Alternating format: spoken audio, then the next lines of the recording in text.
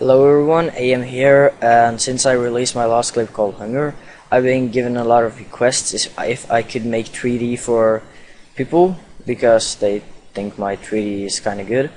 And since I don't want to make 3D for everyone, I'm just going to show you how you can make your own nice and neat 3D. So here's a beta of what we're going to be making. Turn things around and show something nothing, nothing. And now I saw across borders materialize. We our fate right here, right now. Yeah, so that's basically what we're going to be making. Uh, first, we need a program called Endorphin, uh, where we make our animations. Uh, it's uh, kind of uh, a simulation engine for I don't know making good making good animations. So I'm just going to make an animation here, and we should also delete our character who is there when we open the program and we need to go to character, add character, and automation 2 and press OK. Uh, now we need to add um, uh, a custom animation, so we go to uh, right click on the track and we select create animation event. Then we can uh, go into our uh, we go into computer, C, uh, program files, and down to NaturalMotion and endorphin and resources and animation au au- audio animation to FBX and then we have a lot of animations here. Uh, I'm just going to choose uh, jump with roll actually I'm just going to go into audio motion 1 and choose uh, run Okay, so we're going to open that run, run to stop, turn right. Okay, so we open that one and we choose hips and uh, reference character and we choose our audio motion 2. Okay. Now if we simulate this, you will see that he is uh, running. Uh, so, and when he stops running, animation is kind of over, he just falls. Yeah, I didn't simulate him anymore, so yeah, that's what she's going to be doing. Uh, so we can kind of make him jump here if you want to. You just right click and choose uh, create behavior event. Yeah, behavior event, and we choose uh, name and we choose jump and dive because that's coolest.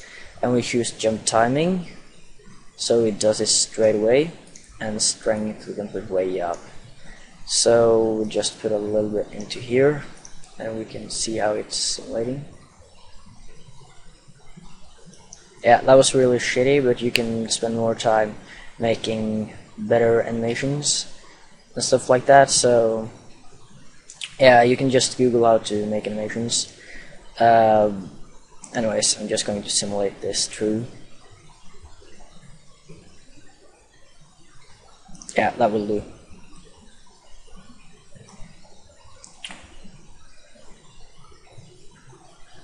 Yeah.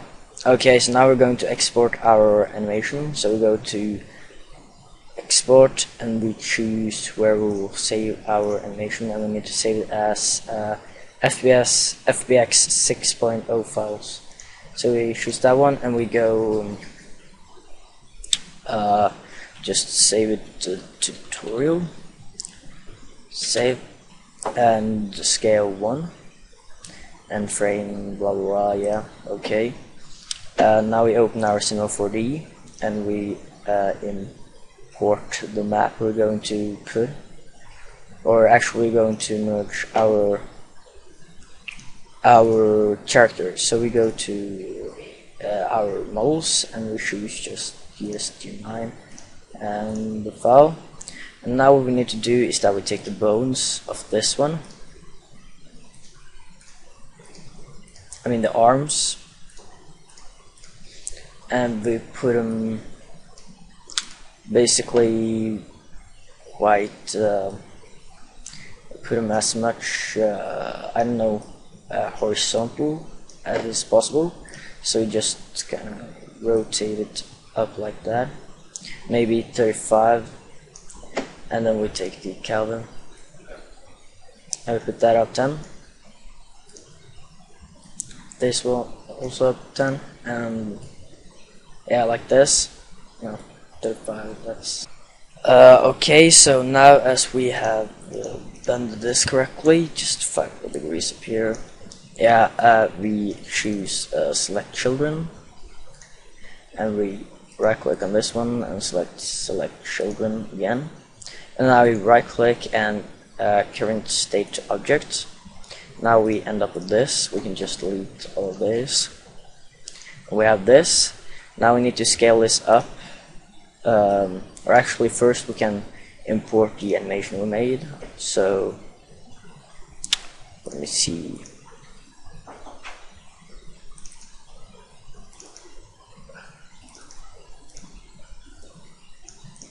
So here is our animation. So now we can see that the character is much bigger or the bones is much bigger. So we take our character and we rescale it. So I figure out 2.6 or 2.7. It's kind of good. 2.4 for the characters maybe. Yeah, you just rescale it so it fits.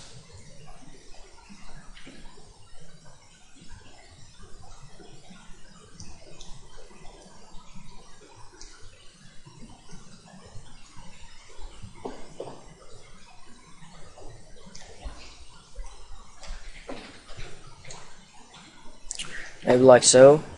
Now we just uh, delete the camera switcher and we uh, select uh, select children and our mesh and we choose uh, character commands and bind. Yeah, so uh, if it doesn't add a skin automatically, just just go to character uh, and skin and just drag it into the uh, your mesh. Now it should stick to the thing, and you have uh, quite good animation. Uh, you, I'm just doing this really quick. You should really spend more time doing this. And uh, yeah, so now we can add a map if you want to.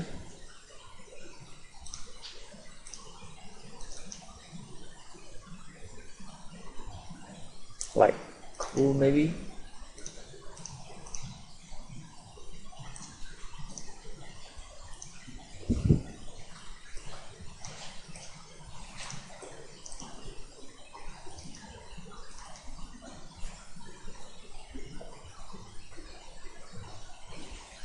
But we also need to resize this up so we just choose the map.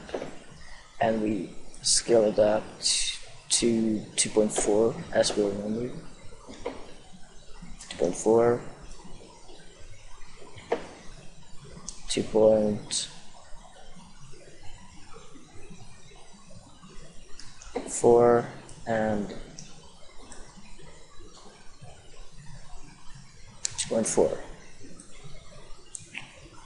and now we just uh, yeah I guess that's okay. We're not going to use this animation for everything but it kind of runs and then yeah do some crazy shit. So let's just add the material. Yeah.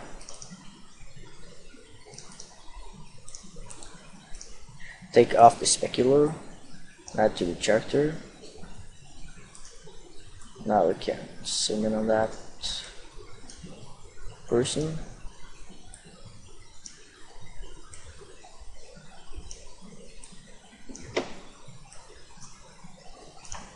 And we can render a little test frame.